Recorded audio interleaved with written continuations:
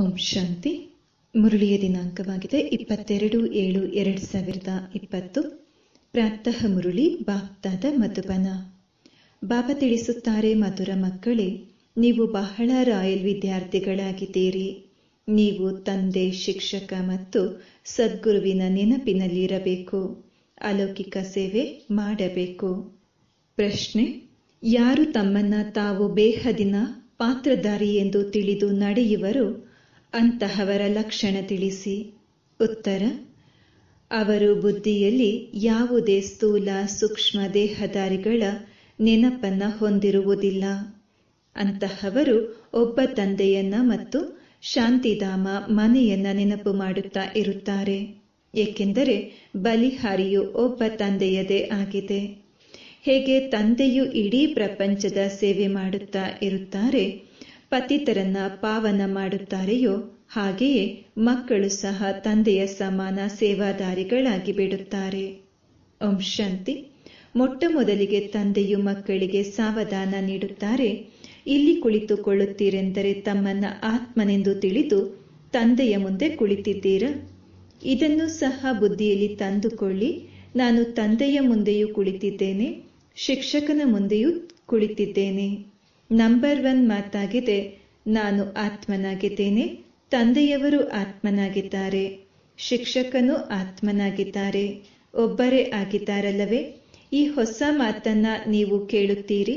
ಬಾಬಾ, ನಾವಂತೂ ಕಲ್ಪ ಕಲ್ಪವು ಇದನ್ನ ಕೇಳುತ್ತೇವೆ ಎಂದು ಹೇಳುತ್ತೀರಿ. ಅಂದಾಗ, ಬುದ್ಧಿಯಲ್ಲಿ ಇದು ನೆನಪಿರಲಿ.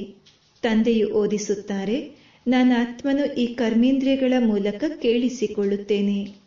ಈ ಜ್ಞಾನವು ನೀವು ಮಕ್ಕಳಿಗೆ ಶ್ರೇಷ್ಠಾತಿ ಶ್ರೇಷ್ಠ ಭಗವಂತನ ಮೂಲಕ ಈ ಸಮಯದಲ್ಲಿಯೇ ಸಿಗುತ್ತದೆ.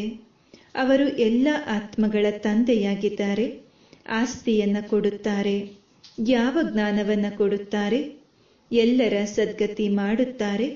ಅಂದರೆ ಮನೆಗೆ ಕರೆದುಕೊಂಡು ಹೋಗುತ್ತಾರೆ. ಎಷ್ಟು ಮಂದಿಯನ್ನ ಕರೆದುಕೊಂಡು ಹೋಗುತ್ತಾರೆ? ಇದೆಲ್ಲವನ್ನ ನೀವು ತಿಳಿದುಕೊಂಡಿದ್ದೀರಿ. ಸೊಳ್ಳೆಗಳ ಪಾದಿಯಲ್ಲಿ ಎಲ್ಲರೂ ಸಹ ಹೋಗಬೇಕಾಗಿದೆ. ಸತ್ಯುಗದಲ್ಲಿ ಒಂದೇ ಧರ್ಮ, ಪವಿತ್ರತೆ, ಸುಖ, ಶಾಂತಿ ಎಲ್ಲವೂ ಇರುತ್ತದೆ. ಈ ಚಿತ್ರಗಳನ್ನು ಕುರಿತು ತಿಳಿಸಿಕೊಡುವುದು ನೀವು ಮಕ್ಕಳಿಗೆ ಬಹಳ ಸಹಜವಾಗುತ್ತದೆ. ಹೇಗೆ ಮಕ್ಕಳು ಸಹ ನಕ್ಷೆಯಿಂದ ತಿಳಿದುಕೊಳ್ಳುತ್ತಾರಲ್ಲವೇ? ಇದು ಇಂಗ್ಲೆಂಡ್ ಆಗಿದೆ, ಇದು ಮತ್ತೊಂದಾಗಿದೆ ಎಂದು ಹೇಳಿದಾಗ ಅದು ನೆನಪಿಗೆ ಬರುತ್ತದೆ. ಇಲ್ಲಿಯೂ ಸಹ ಹಾಗೆಯೇ ಒಬ್ಬೊಬ್ಬ ವಿದ್ಯಾರ್ಥಿಗೂ ತಿಳಿಸಲಾಗುತ್ತದೆ. ಮಹಿಮೆಯು ಒಬ್ಬರದೇ ಆಗಿದೆ. ಶಿವಾಯ ನಮಃ.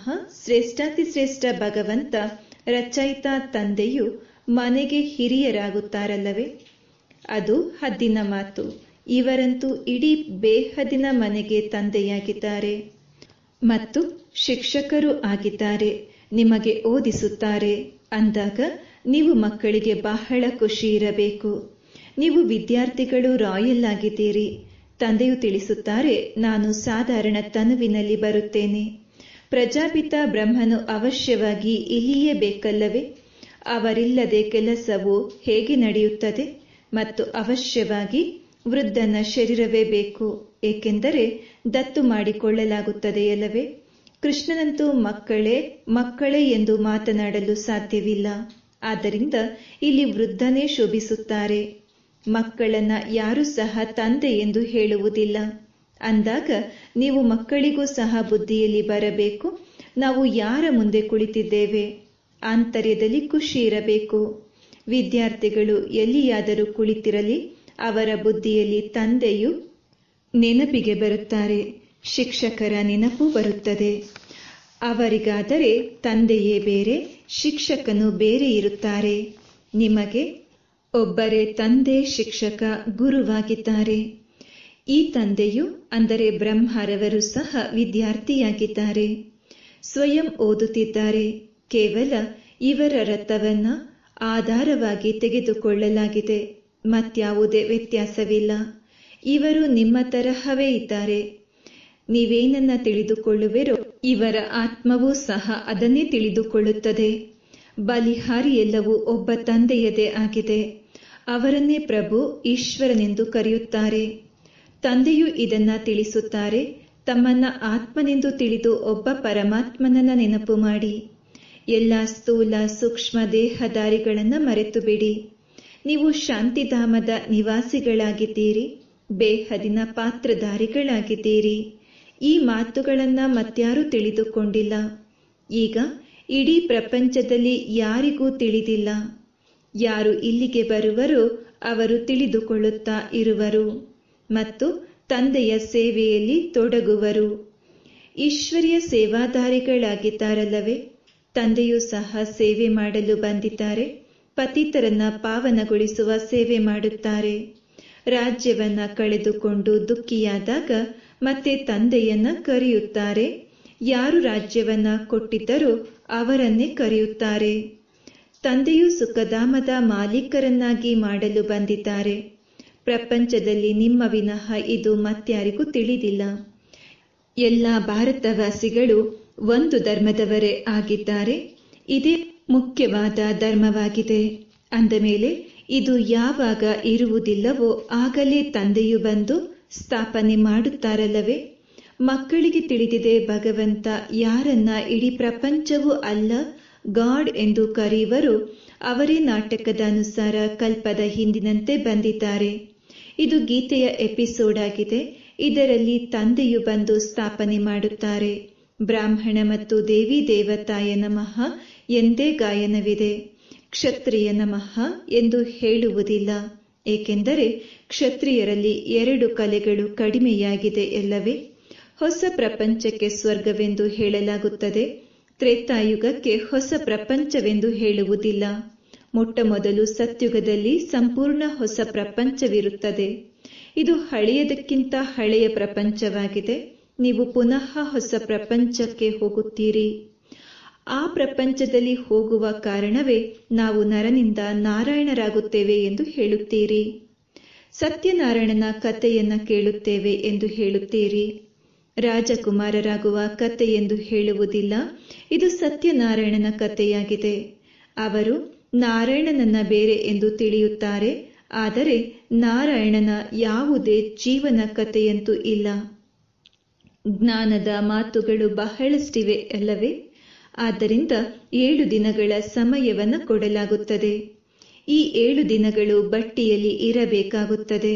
ಅಂದರೆ ಇಲ್ಲಿಯೇ ಕುಳಿತು ಬಿಡುವಂತಹದ್ದಲ್ಲ ಹೀಗೆ ಮಾಡಿದರೆ ಬಟ್ಟೆಯ ನೆಪ ಮಾಡಿಕೊಂಡು ಅನೇಕರು ಬಂದು ಬಿಡುವರು.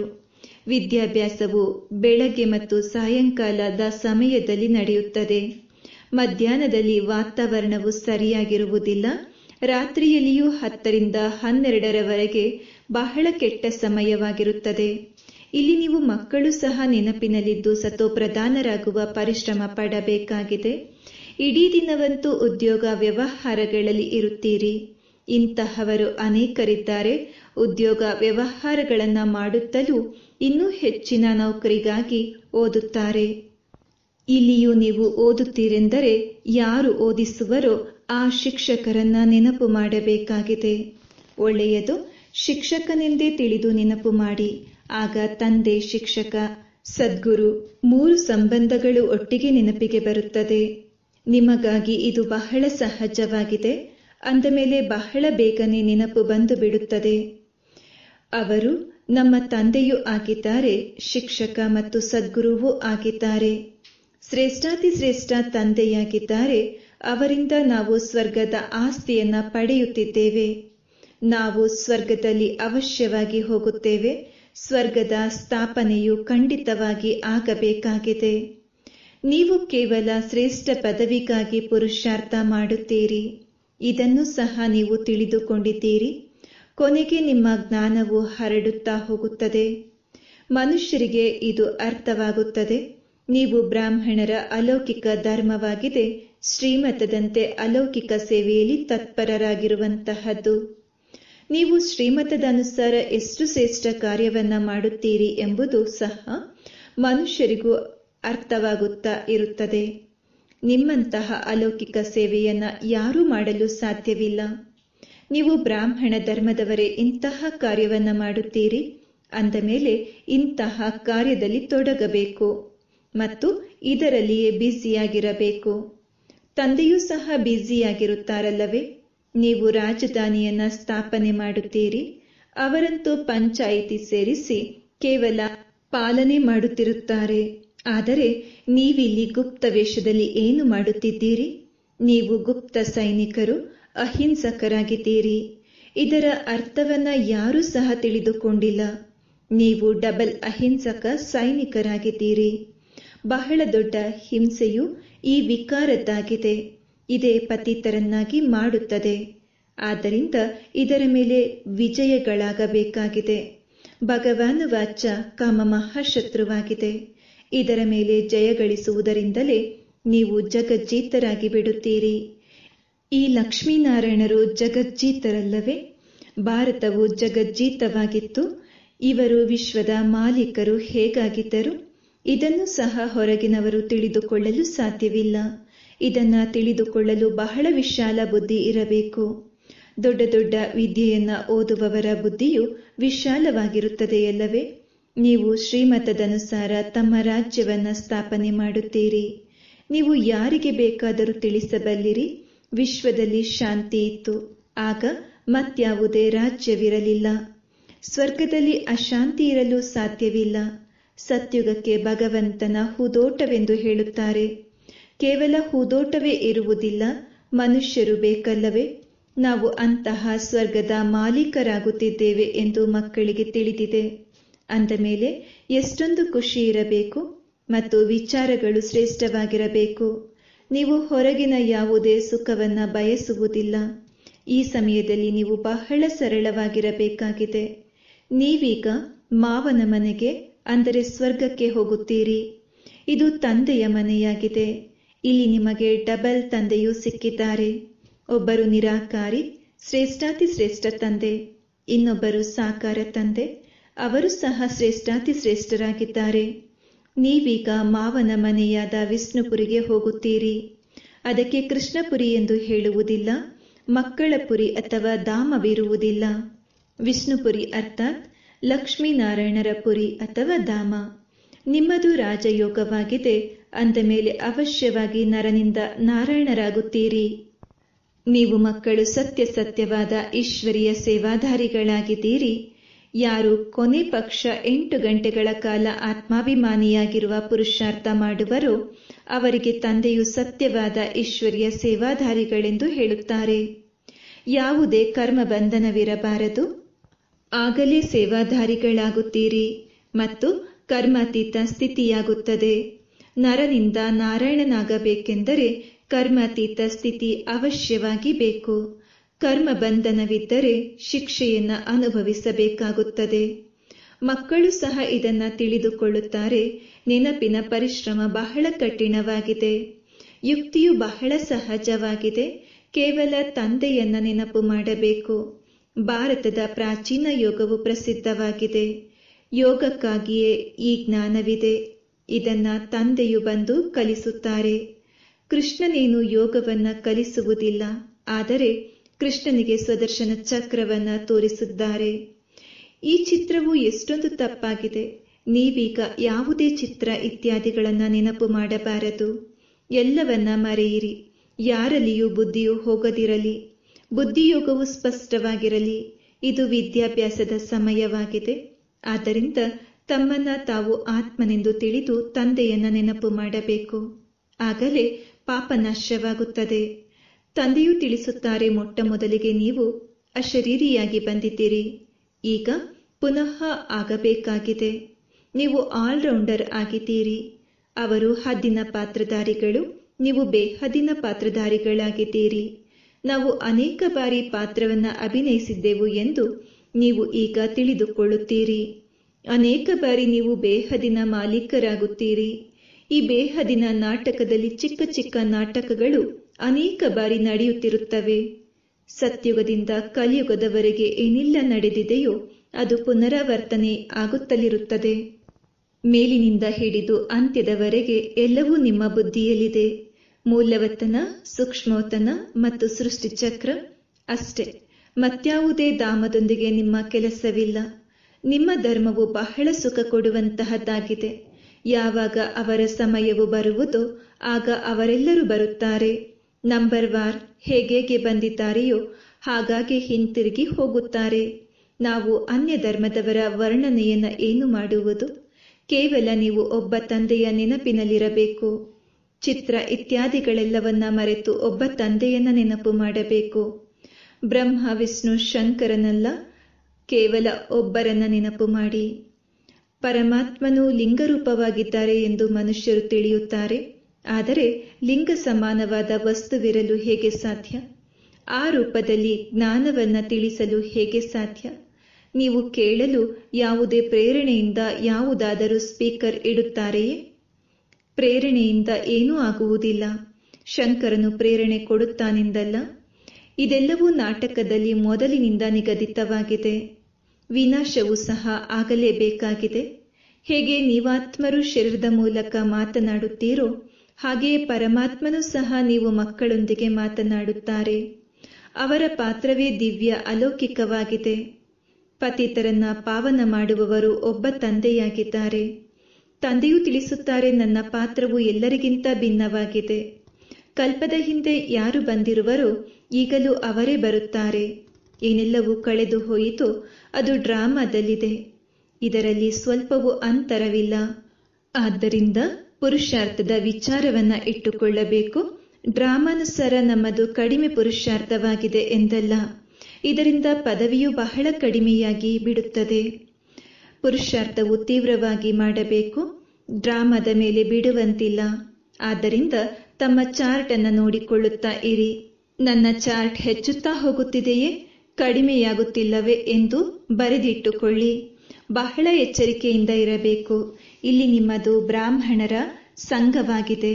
ಹೊರಗಡೆ ಎಲ್ಲವೂ ಕೆಟ್ಟ ಸಂಘವೇ ಇದೆ. ಅಲ್ಲಿ ಮನುಷ್ಯರೇ ಕೆಟ್ಟ ಮಾತುಗಳನ್ನೇ ತಿಳಿಸುತ್ತಾರೆ. ಈಗ ತಂದೆಯು ನಿಮ್ಮನ್ನ ಕೆಟ್ಟ ಸಂಘದಿಂದ ಬಿಡಿಸುತ್ತಾರೆ. ಮನುಷ್ಯರು ಕೆಟ್ಟ ಸಂಘದಲ್ಲಿ ಬಂದು ತಮ್ಮ ರೀತಿ, ನೀತಿ ವೇಷಭೂಷಣ ಇತ್ಯಾದಿಗಳೆಲ್ಲವನ್ನ ಬದಲಾಯಿಸಿ ಬಿಡುತ್ತಾರೆ. ದೇಶ ದೇಶವನ್ನೇ ಬದಲಾಯಿಸಿದ್ದಾರೆ. ಇದು ಸಹ ತಮ್ಮ ಧರ್ಮದ ನಿಂದನೆ ಮಾಡುವಂತಹದ್ದಾಗಿದೆ. ನೋಡಿ ಹೇಗೆ ಜಡೆಗಳನ್ನು ಹಾಕಿಕೊಳ್ಳುತ್ತಾರೆ. ದೇಹಾಭಿಮಾನವು ಬಂದು ಬಿಡುತ್ತದೆ ಕೇವಲ ಕೂದಲಿನ ಸೌಂದರ್ಯಕ್ಕಾಗಿ ನೂರು, ನೂರೈವತ್ತು ರೂಪಾಯಿಗಳನ್ನು ಖರ್ಚು ಮಾಡುತ್ತಾರೆ. ಇದಕ್ಕೆ ಅತಿಯಾದ ದೇಹಾಭಿಮಾನವೆಂದು ಹೇಳಲಾಗುತ್ತದೆ. ಅಂತಹವರು ಎಂದೂ ಜ್ಞಾನವನ್ನು ತಿಳಿದುಕೊಳ್ಳಲು ಸಾಧ್ಯವಿಲ್ಲ. ತಂದೆಯು ತಿಳಿಸುತ್ತಾರೆ, ಮಕ್ಕಳೇ ಬಹಳ ಸಾಧಾರಣವಾಗಿ ಇರಿ. ತುಂಬಾ ಒಳ್ಳೆಯ ಸೀರೆಯನ್ನು ಧರಿಸಿಕೊಳ್ಳುವುದರಿಂದಲೂ ದೇಹಾಭಿಮಾನವು ಬರುತ್ತದೆ. ದೇಹಾಭಿಮಾನವನ್ನು ಬಿಡುವುದಕ್ಕಾಗಿ ಎಲ್ಲವನ್ನ ಸಾಧಾರಣ ಮಾಡಿಕೊಳ್ಳಬೇಕು. ಒಳ್ಳೆಯ ವಸ್ತು ದೇಹಾಭಿಮಾನದಲ್ಲಿ ತರುತ್ತದೆ. ಈಗ ನೀವು ಈ ಸಮಯದಲ್ಲಿ ವನವಾಸದಲ್ಲಿದ್ದೀರಲ್ಲವೇ? ಪ್ರತಿಯೊಂದು ವಸ್ತುವಿನ ಮೋಹವನ್ನ ತೆಗೆಯಬೇಕು. ಬಹಳ ಸಾಧಾರಣವಾಗಿರಬೇಕು. ವಿವಾಹ ಮೊದಲಾದ ಕಡೆಗೆ ಬಣ್ಣದ ವಸ್ತ್ರಗಳನ್ನು ಧರಿಸಿ ಧರಿಸಿಕೊಂಡು ಹೋಗಿ ಸಂಬಂಧವನ್ನು ನಿಭಾಯಿಸಬೇಕು, ಮತ್ತೆ ಮನೆಗೆ ಬಂದು ಬದಲಾಯಿಸಬೇಕು. ನೀವಂತೂ ವಾಣಿಯಿಂದ ದೂರ ಹೋಗಬೇಕಾಗಿದೆ. ವಾನಪ್ರಸ್ಥಿಗಳು ಶ್ವೇತ ವಸ್ತ್ರದಲ್ಲಿರುತ್ತಾರೆ. ನೀವು ಒಬ್ಬೊಬ್ಬರು ಹಿರಿಯರು, ಕಿರಿಯರು, ಎಲ್ಲರೂ ವಾನಪ್ರಸ್ಥಿಗಳಾಗಿದ್ದೀರಿ. ಚಿಕ್ಕ ಮಕ್ಕಳು ಸಹ, ಚಿಕ್ಕ ಮಕ್ಕಳಿಗೂ ಸಹ ತಂದೆಯ ನೆನಪು ತರಿಸಬೇಕು. ಇದರಲ್ಲಿಯೇ ಕಲ್ಯಾಣವಿದೆ. ನೀವೀಗ ಶಿವ ತಂದೆಯ ಬಳಿ ಹೋಗಬೇಕಾಗಿದೆ. ಒಳ್ಳೆಯದು, ಮಧುರಾತಿ ಮಧುರ ಅಗಲಿ ಮರಳಿ ಸಿಕ್ಕಿರುವ ಮಕ್ಕಳ ಪ್ರತಿ, ಮಾತ್ಪಿತಾ ಬಾಪ್ತಾದರವರ ನೆನಪು ಪ್ರೀತಿ ಹಾಗೂ ಸುಪ್ರಭಾತ, ಆತ್ಮಿಕ ಮಕ್ಕಳಿಗೆ ಆತ್ಮಿಕ ತಂದೆಯ ನಮಸ್ತೆ. ಆತ್ಮಿಕ ತಂದೆಗೆ ನಾವು ಆತ್ಮಿಕ ಮಕ್ಕಳು ಮಾಡುವ ಸವಿ ನೆನಪು ಪ್ರೀತಿ ಹಾಗೂ ನಮಸ್ತೆ. ಧಾರಣೆಗಾಗಿ ಮುಖ್ಯ ಸಾರ ಫಸ್ಟ್ ಪಾಯಿಂಟ್. ಸದಾ ಗಮನವಿರಲಿ, ನಮ್ಮ ಯಾವುದೇ ಚಲನೆಯು ದೇಹಾಭಿಮಾನದ್ದಾಗಿರಬಾರದು. ಬಹಳ ಸಾಧಾರಣವಾಗಿರಬೇಕು, ಯಾವುದೇ ವಸ್ತುವಿನಲ್ಲಿ ಮಮತ್ವವನ್ನು ಇಟ್ಟುಕೊಳ್ಳಬಾರದು. ಕೆಟ್ಟ ಸಂಘದಿಂದ ತಮ್ಮನ್ನ ಸಂಭಾಲನೆ ಮಾಡಿಕೊಳ್ಳಬೇಕು. ಸೆಕೆಂಡ್ ಪಾಯಿಂಟ್, ನೆನಪಿನ ಪರಿಶ್ರಮದಿಂದ ಸರ್ವ ಕರ್ಮ ಬಂಧನಗಳನ್ನು ತುಂಡು ಮಾಡಿ ಕರ್ಮಾತೀತರಾಗಬೇಕು. ಕೊನೆ ಪಕ್ಷ, ಎಂಟು ಗಂಟೆಗಳ ಕಾಲ ಆತ್ಮಾಭಿಮಾನಿಯಾಗಿದ್ದು ಸತ್ಯ ಸತ್ಯವಾದ ಈಶ್ವರಿಯ ಸೇವಾದಾರಿಗಳಾಗಬೇಕು ವರದಾನ, ಸದಾ ಬೇಹದಿನ ಸ್ಥಿತಿಯಲ್ಲಿ ಸ್ಥಿತರಾಗಿರುವಂತಹ ಬಂಧನ ಮುಕ್ತ ಜೀವನ್ಮುಕ್ತ ಭವ. ವರದಾನದ ವಿವರ, ದೇಹ ಅಭಿಮಾನ ಹದ್ದಿನ ಸ್ಥಿತಿಯಾಗಿದೆ ಮತ್ತು ದೇಹಿ ಅಭಿಮಾನಿಗಳಾಗುವುದು ಬೇಹದಿನ ಸ್ಥಿತಿಯಾಗಿದೆ. ದೇಹದಲ್ಲಿ ಬರುವುದರಿಂದ ಅನೇಕ ಕರ್ಮದ ಬಂಧನಗಳಲ್ಲಿ ಬರಬೇಕಾಗುತ್ತದೆ. ಆದರೆ ಯಾವಾಗ ದೇಹಿ ಆಗಿಬಿಡುವಿರಿ, ಆಗ ಈ ಎಲ್ಲ ಬಂಧನಗಳು ಸಮಾಪ್ತಿಯಾಗಿ ಬಿಡುತ್ತದೆ ಹೇಳಲಾಗುತ್ತದೆ, ಕರ್ಮ ಬಂಧನ ಮುಕ್ತರೇ ಜೀವನ್ಮುಕ್ತರು ಎಂದು. ಈ ರೀತಿ ಯಾರು ಬೇಹದಿನ ಸ್ಥಿತಿಯಲ್ಲಿ ಸ್ಥಿತರಾಗಿರುತ್ತಾರೆ, ಅವರು ಜಗತ್ತಿನ ವಾಯುಮಂಡಲ, ವೈಬ್ರೇಷನ್, ತಮೋಗುಣಿ ವೃತ್ತಿಗಳು, ಮಾಯೆಯ ವಾರ್, ಇದೆಲ್ಲದರಿಂದ ಮುಕ್ತರಾಗಿ ಬಿಡುತ್ತಾರೆ ಇದಕ್ಕೆ ಹೇಳಲಾಗುತ್ತದೆ, ಜೀವನ್ಮುಕ್ತ ಸ್ಥಿತಿ. ಇದರ ಅನುಭವವನ್ನ ಸಂಗಮ ಯುಗದಲ್ಲಿಯೇ ಮಾಡಬೇಕಾಗಿದೆ. ಸ್ಲೋಗನ್, ನಿಸ್, ನಿಶ್ಚಯ ಬುದ್ಧಿಯ ಚಿಹ್ನೆ, ನಿಶ್ಚಿತ ವಿಜಯ ಮತ್ತು ನಿಶ್ಚಿಂತ. ಅಂತಹವರ ಬಳಿ ವ್ಯರ್ಥ ಬರಲು ಸಾಧ್ಯವಿಲ್ಲ. ಒಳ್ಳೆಯದು, ಓಂ ಶಾಂತಿ.